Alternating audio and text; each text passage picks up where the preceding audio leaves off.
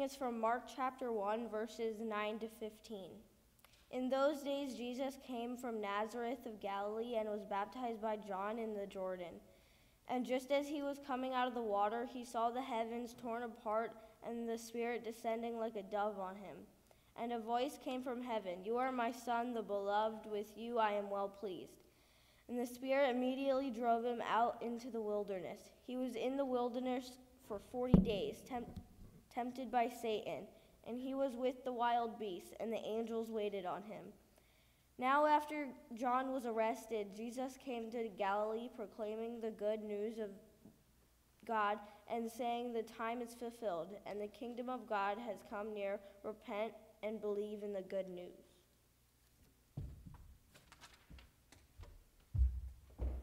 Of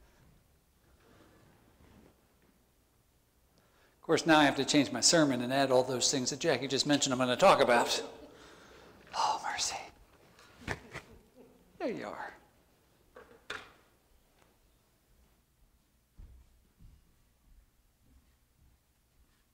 Let's join together in prayer. Thank you, Father, for gathering us again to celebrate your love shown to us in so many ways. Thank you for the pastors you sent to help us understand and respond to that love. We expect so much of them to be all things to all people, which is an impossible job. We ask you to bless them with strength and wisdom as they serve you and your children. In particular, we ask for your healing and guidance for our Pastor Terry during her time of rest, and for our old friend Bill Brown, who joins us today. We ask you to give him the words we need to hear and the words he needs to hold in his heart.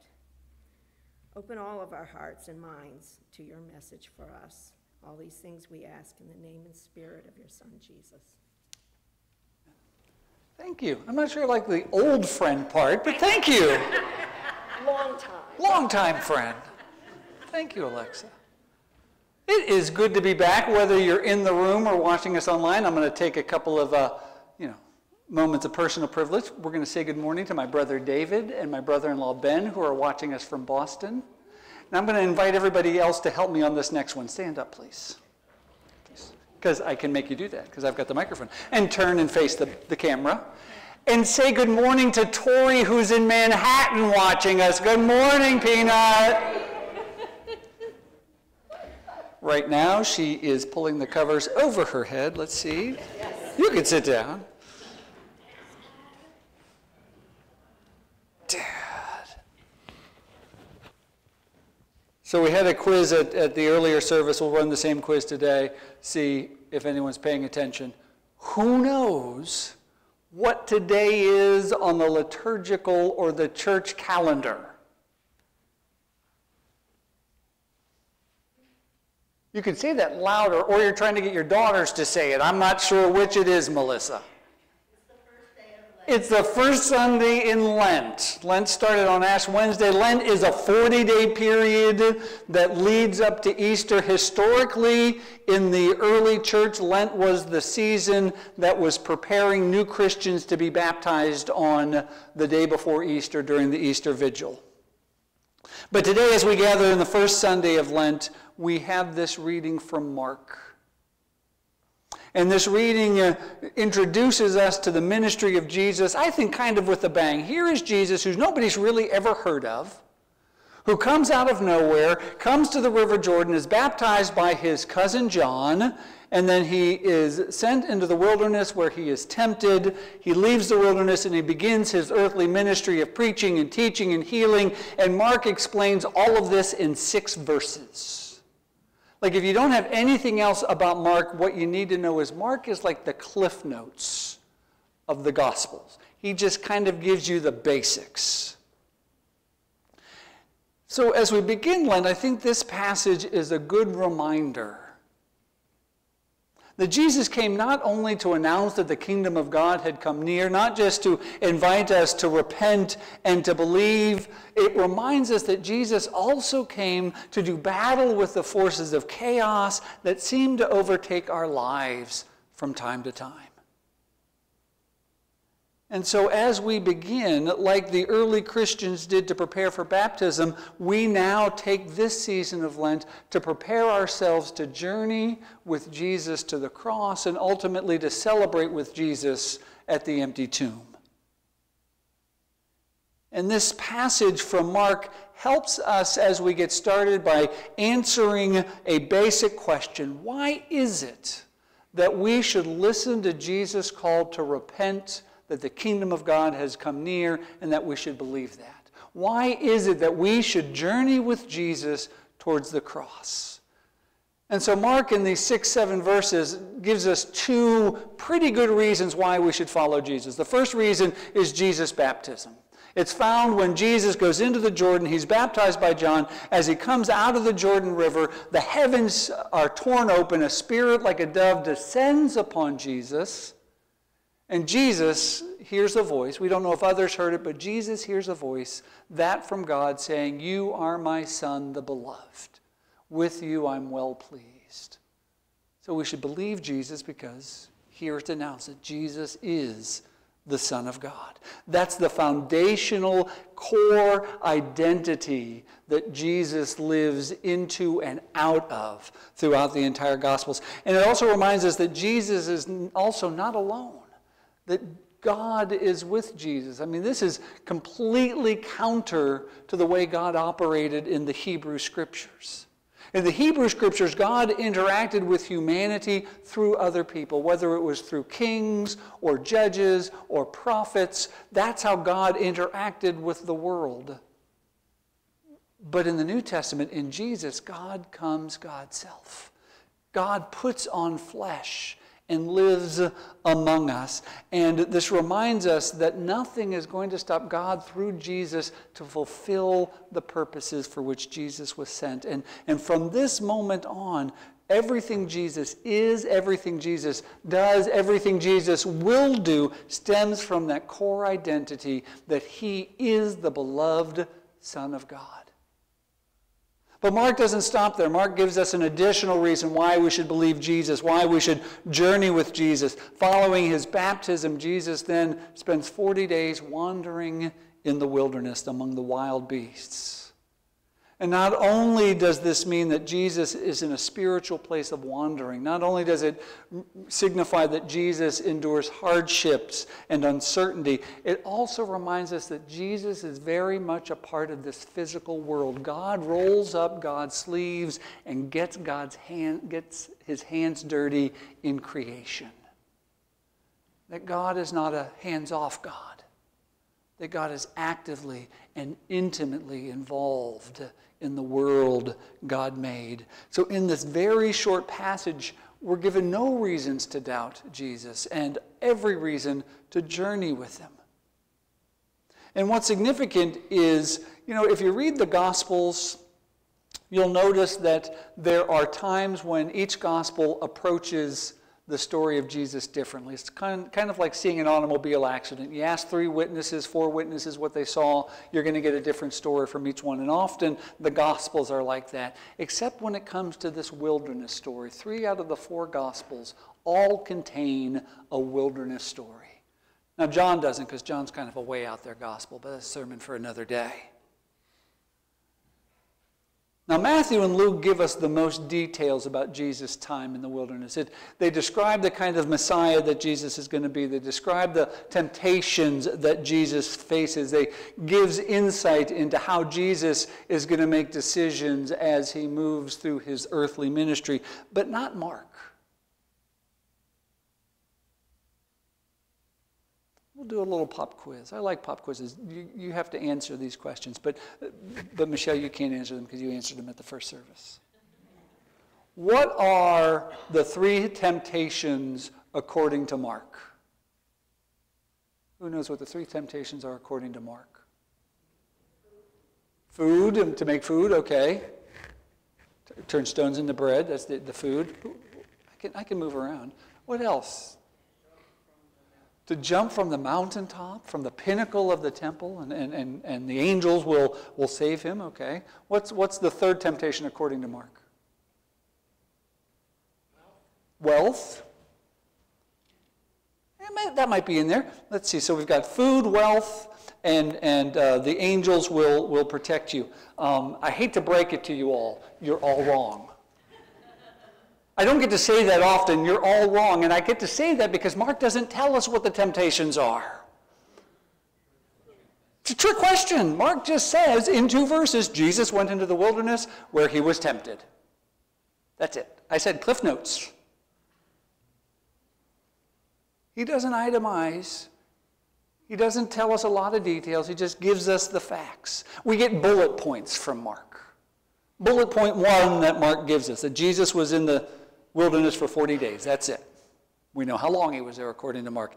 He says in bullet point two, he was tempted by Satan. I'm like, what? What do you mean he was tempted? I, I, want some details. How was he tempted? No, Mark doesn't have time for questions. Moving on to bullet point three, he was with the wild beasts. I want to say what again? What do you mean he's with the wild beasts? What does that mean? Was he attacked by them? Was he surrounded by them? Was he fighting them for food? Was he hunting them? Can you imagine Jesus on Survivor? Was this like a survivor moment? Was he making the, the animals, the wild beasts, his pets? We don't know. Mark doesn't tell us.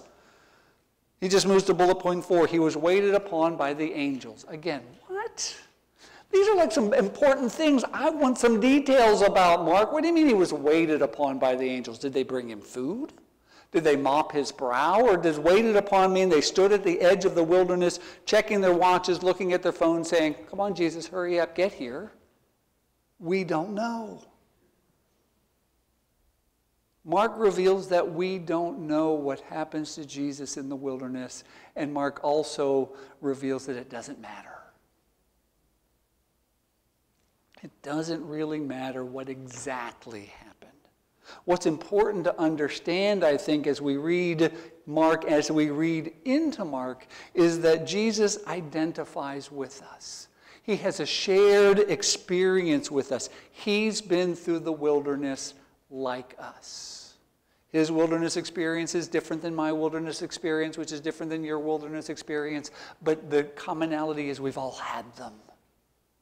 That's all we need to know from Mark. And so, as we start this 40 day journey today, as we start in this Lenten season, as we prepare ourselves to journey to the cross, which I think is the hardest and holiest day of our story, Mark reminds us that Jesus did the same thing too. He faced some of the worst experiences of humanity loneliness, physical suffering, and temptation, and yet he was nurtured by the angels. I mean, that's similar to our reality, I think. That's similar to our experiences. We have beautiful days and we have terrible days.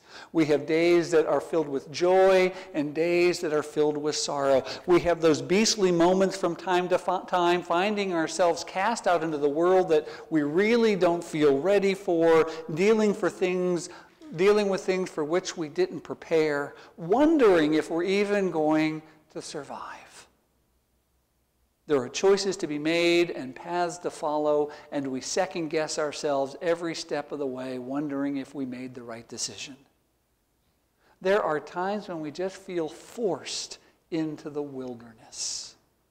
That can be for any number of reasons. We can feel forced into the wilderness through disease or accident, through divorce or estrangement, through memory loss or death, through financial insecurity or the loss of community. The wilderness is a place of intensity, of, of deprivation, where some comforts are just seemingly stripped away. And yet, in the wilderness, other truths can sometimes be revealed. In the wilderness, we learn often the hard way about our limited and fragile identities in nature. But we also discover that our lives are of sacred worth.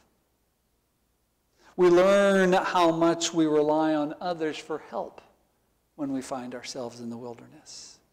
The wilderness is an uncharted territory where our awarenesses can shift and expand, a wild place where we meet ourselves as we really are and discover our fragility and our dependence upon God and upon other people in our lives.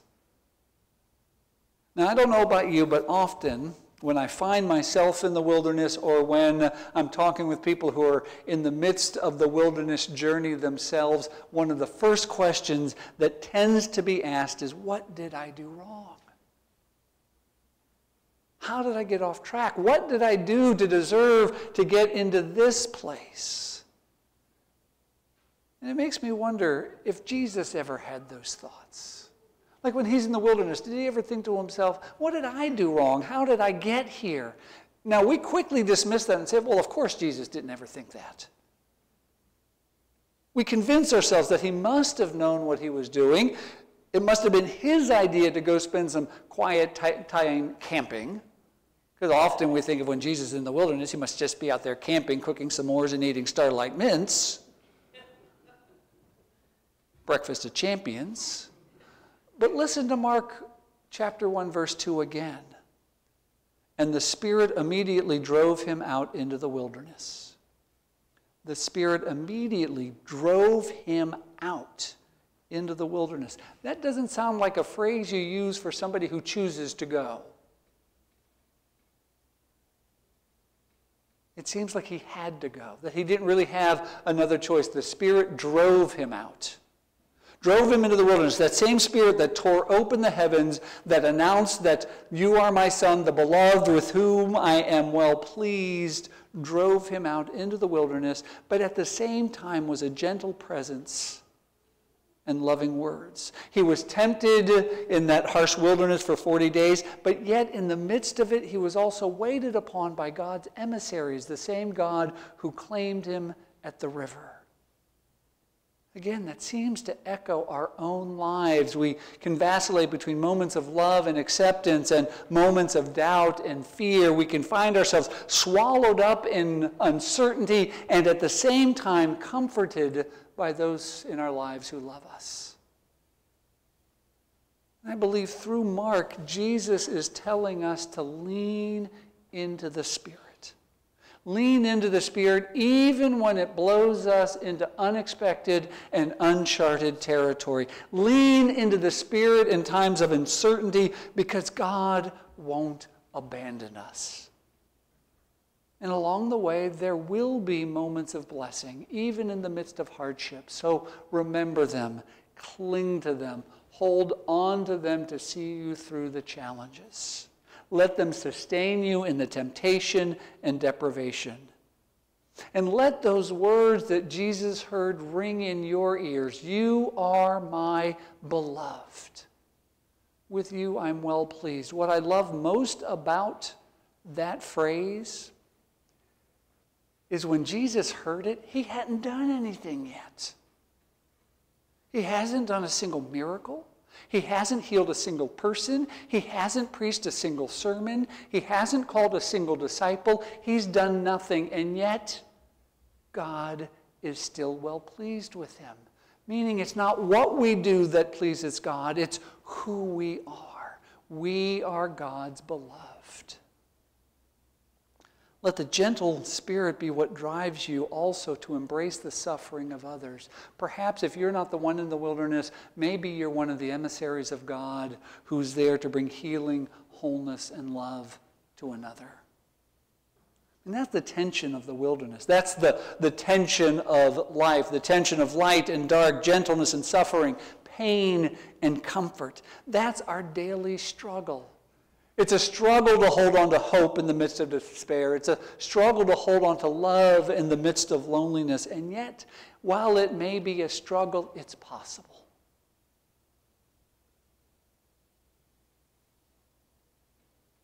Now, I have been through wilderness a few times in my life. I think we can do a quick poll, whether you're watching online or in here. If you're online, nobody's going to see you do it, but you can still do it. Raise your hand if you've been through the wilderness. I don't know about you, but it's not fun. It's not a place I typically choose to spend my time. As I said, uh, you know, I've been through the wilderness throughout my life. Uh, my family, Michelle, Tori, and I have been finding ourselves wandering in the wilderness for the past three years. And we just wonder to ourselves, when's enough enough? It started when my mom died in September of 2021. We didn't expect it. I, I remember the phone call like it was yesterday from my dad. And through the whole hustle and bustle of, of being between our home and Lancaster and making all of the arrangements with my family, you get to a point where you move to a place where your life begins to work around that grief. And, and, and you know, I don't think you ever get over those things, but you get to, to, to a place where you learn to live with it and you hold on to those blessed memories. But then my dad's health began to decline, and so I had the, the privilege um, and the honor of being one of many supports to my dad. But I got to spend maybe two days a week up in Lancaster, taking him to doctor's appointments, being a second set of um, ears, making sure that my brothers were kept in the loop, making sure that things were being cared for. Everybody was pitching in so wonderfully. And then in June of 2023, my dad entered hospice on the 11th of June and then died on the 12th of June. Again, was a sad day, but then four hours later, Michelle's dad, who had entered into hospice the same time my dad did, died. And it's just like, really? Two in a row on the same day? Of course, we kind of were morbidly teasing that my dad won. Because you had to laugh because everything else didn't make sense. And so we get through 2023 and we said, enough. 2024 is going to be so much better as we've navigated health concerns and job concerns and life concerns.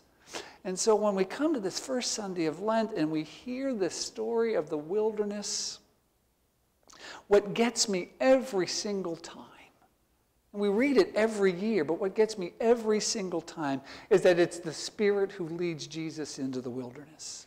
That Spirit who descended upon Jesus at his baptism, the beloved Son, I'm pleased with you, forces Jesus into the wilderness every single year on repeat.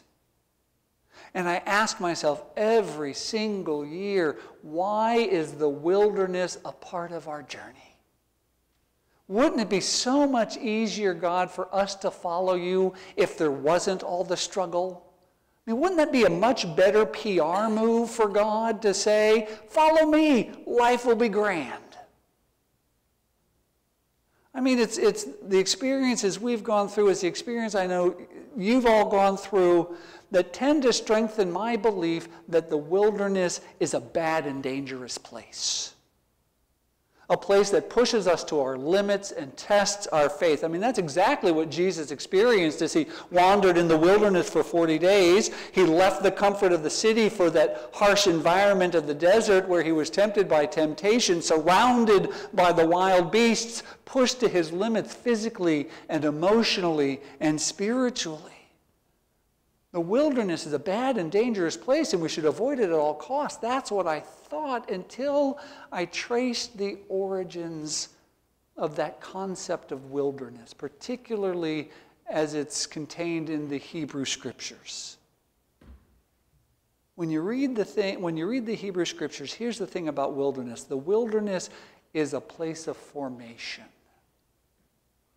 It was in the wilderness as Moses was tending sheep that God called out to Moses and called Moses to set the people free. It was in the wilderness that when Moses led the people of the Israelites out of Egypt through the Red Sea and into the wilderness, God, over 40 years, they started in the wilderness as no people, but over 40 years, God shaped them into God's people. They took on a new identity. When Jesus was in the wilderness facing hunger and loneliness and temptation, he formed a new vocational identity. Everything he faced in the wilderness prepared him to deal with whatever the scribes and the Pharisees threw out him in his earthly ministry. The, I've come to the conclusion that the wilderness is a part of our journey because in the wilderness is where and how we learn to trust God. It's where we forge our identity as God's beloved children. And trust me, if following God meant everything was grand, we'd sooner or later forget about God and just think, look what I've done, everything's grand. Because that's just the way we work. But the wilderness is a time, I dare say, to welcome and renew our relationship with God and our identity as God's beloved children. The wilderness isn't a bad place, the wilderness is actually a holy place. And like the wilderness, this season of Lent is a holy season where we discover our identity in God, where we strip away our usual comforts so that we can hear and see God more clearly. Often people do this by either giving something up or taking something on so they can feel a closer connection to God. The wilderness might feel like a lonely place, but God is there with us providing a healing and comforting touch in the midst of our brokenness, chaos, and hurt. Let us pray. God, here we are starting down this Lenten path a path of promise, a path of hope, and a path of refreshment. But often we feel the pull of the mundane. It's a kind of restlessness, not some aberration, but the norm, because we know we live inside in our own contingency, scrunched into time and circumstance, as if we've woken up in the middle of a play that's already started, a, a plot that's already in motion. But we have glimpsed its meaning, its end, and it is glorious. If only we could know our lines, our entrances and exits, the way to move through with grace and beauty and patience, because it's your story. And God, it's our story. We live here in the in between, bearing the weight of the paradox that simultaneously we see ourselves from the inside in our fragility and dependence, and at the same time from the outside in our heart bursting possibilities. And honestly, if we're honest, God, sometimes it's miserable. Unless you walk us through this wilderness, oh God. And you do, step by step. And we're grateful that you know the wilderness inside and out. In Jesus' name, amen.